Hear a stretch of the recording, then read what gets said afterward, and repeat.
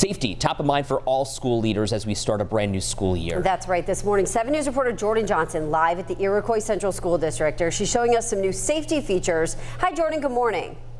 Good morning to you, Ed and Katie. Here at Iroquois Central School District, it's the first day back to school, and some parents may be wanting to know how the district is keeping their students safe. So, to join me is Superintendent Doug Scofield. So, can you kind of tell me the new measures that are in place here in this district?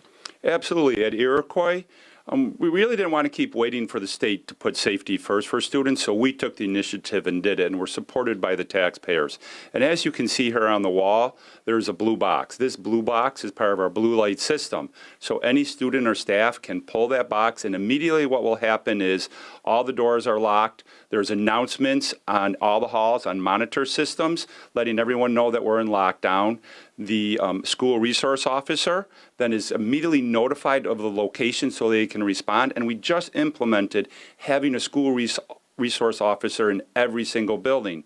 And 911 is also called, so we have immediate response, backup response happening, and everyone's notified. And this is really going to provide a safe environment for the students here at Iroquois. And it is so important to provide that safe environment. Thank you so much for joining me this morning, Doug. And we are about an hour away from students coming back to school here in Elma. Live from Elma, Jordan Johnson, 7 News.